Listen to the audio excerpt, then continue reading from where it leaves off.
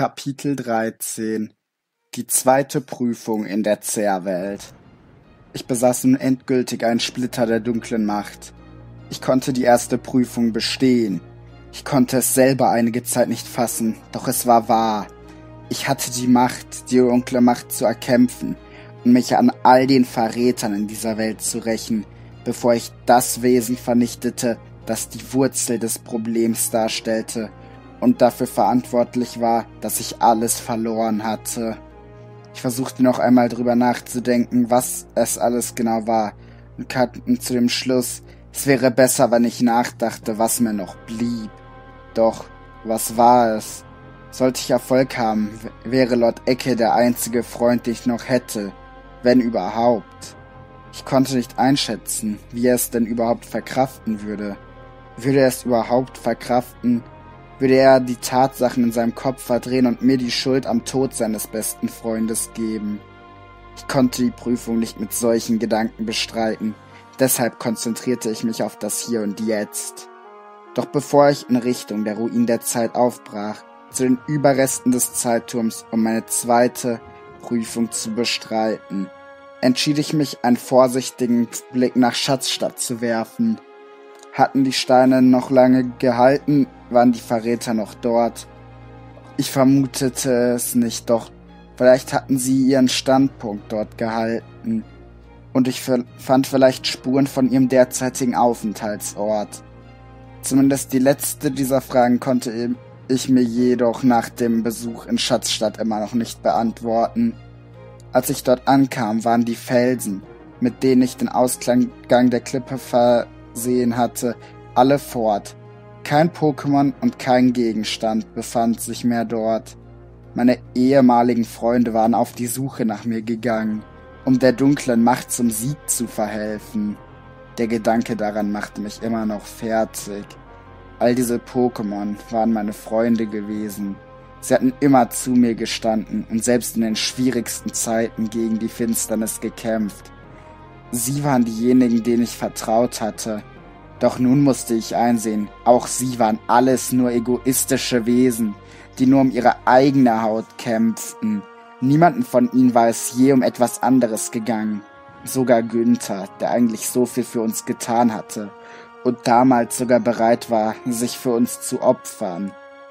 Doch all diese Gedanken der Verzweiflung halfen mir kein bisschen weiter. Ich war inzwischen einen großen Schritt ohne sie gegangen. Doch ich dachte noch einmal anders über die Sache nach. Was, wenn mich meine Freunde gar nicht verraten hatten? Zumindest nicht aus freiem Willen. Wurden sie von irgendetwas kontrolliert? Doch ich dachte wieder an ihr Gespräch an jenem Abend und verwarf diesen Gedanken wieder, bevor ich in Richtung Ruin der Zeit zog. Als ich am Strand ankam, zeigte sich ein großes Problem. Anders als in der normalen Welt, in meiner Welt, wartete hier kein Lapras, das mich in das verlorene Land und somit zum Zeittum oder den Ruin der Zeit bringen könnte. Verdammt, warum habe ich da drin nicht gedacht? Irgendwie muss ich doch zu den Ruinen kommen. Auf einmal schoss ein völlig mir völlig unbekanntes Pokémon aus dem Wasser heraus. Ruin? Meinst du etwa die Ruinen der Zeit? Mir war dieses Wesen nicht geheuer, deswegen antwortete ich etwas zögerlich. Zudem konnte ich nicht wissen, ob meine ehemaligen Freunde vielleicht bereits Verbündete in dieser Welt hatten. Ja, genau, diese Ruinen meine ich. Weißt du etwas über sie?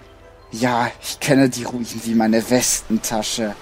Ein unwirtlicher Ort, in dem Raum und Zeit aus den Fugen geraten sind. Für viele Pokémon ein Albtraum, für mich ein Paradies. Durch diese Aussage kam mir das Wesen noch suspekter vor, doch nun, wo ich mich darauf eingelassen hatte, gab es sowieso kein Zurück mehr.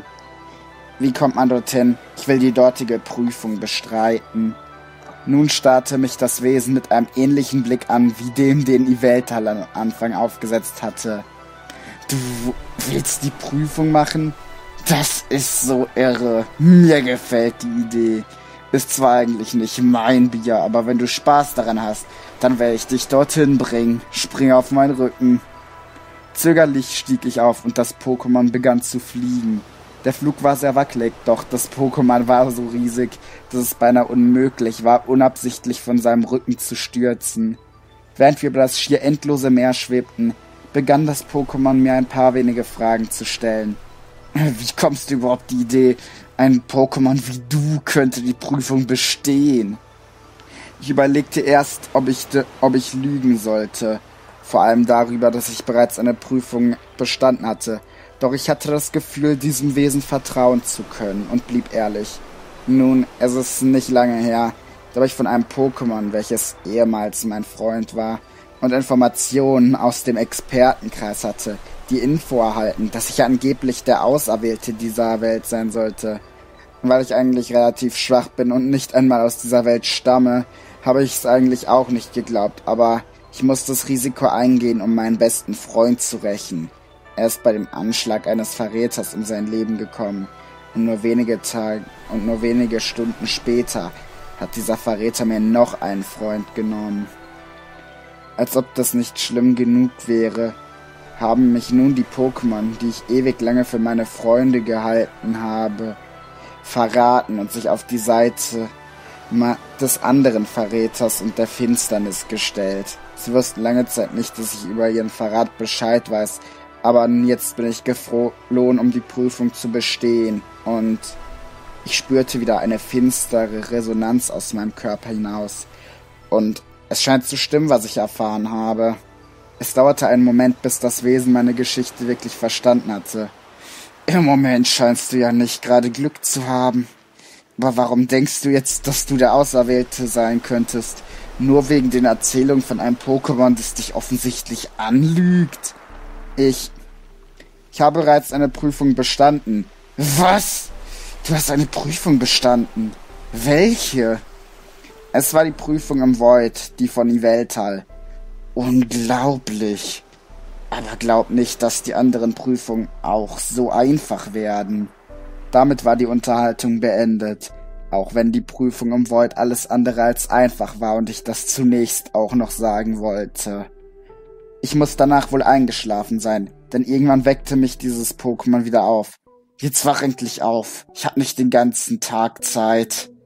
Wir befanden uns nicht mehr im Flug, sondern inmitten von Trümmern, in einer merkwürdigen Umgebung. Sind das hier die Ruinen der Zeit? Genau. Und hier willst du jetzt deine zweite Prüfung bestreiten, richtig? Äh, ja, weißt du, wo ich den Wächter der Prüfung finde? Anstatt das Pokémon, anstatt zu antworten, trat das Pokémon in die Mitte der Ruinen und begann wieder zu schweben. Somit ist es entschieden. Ich, Giratina, werde dich deiner zweiten Prüfung in der dunklen Welt unterziehen. Wenn ich heute darüber nachdenke, weiß ich nicht, weshalb ich Weshalb doch ich war erstaunt, dass gerade dieses Pokémon der Wächter der Prüfung sein sollte. Zudem, dass das ein, Giranti ein Giratina war. Eines der berüchtigsten legendären Pokémon in unserer Welt. Der größte Feind des Gleichgewichts von Raum und Zeit. Der Gott der Zerrwelt. Ich konnte nicht glauben, dass ich gerade erst ein normales, sinnvolles Gespräch mit diesem Pokémon geführt hatte. Deine Prüfung wird simpel sein, wie sie klingt. Es geht um einen Hausbesuch bei mir. Du musst nicht so mit mir reden, als wäre ich dumm. Meine Prüfung findet in der Zerrwelt statt, das höre ich selber. Du bist schlauer, als du aussiehst. Na dann, legen wir los. Nachdem sich die gesamte Welt für wenige Sekunden im Kreis drehte, sah meine Umgebung völlig anders aus. Der Himmel war dunkelblau, nicht mehr rot wie zuvor. Überall schwebten riesige Felsen in der Luft als einzige Möglichkeit, nicht ins Bodenlose darunter zu stürzen. Giratina schwebte immer noch vor mir, doch es schien, als würde sich etwas tun. Bevor ich mich versah, vollzog er eine Verwandlung, bei der er seine Beine verlor und durch tentakelartige Krallen ersetzte.